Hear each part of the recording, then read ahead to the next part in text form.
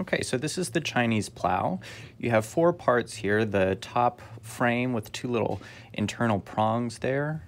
You have this little bitty ring that get, likes to get in the way of everything. This horseshoe guy with two really large loops on either side, and then this uh, long piece. And the long piece is what you're trying to get off. This is the starting position. And the first step is to weave this long piece over to this side right here. And you do that by going straight up through that center ring, over one of those prongs. And this is where everything likes to get a little crowded, and that's okay.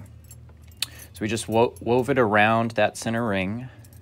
And now we're gonna try to get it over the side of this horseshoe prong right there, like that. And now it's over on the side.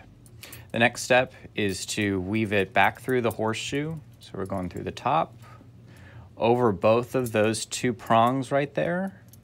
And then we're gonna let this center ring go through the center of that long piece right there. Bloop, just like that. And then we are going to um, work this center piece over that prong, just like that.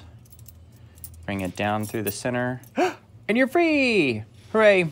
And that's how you solve the Chinese plow.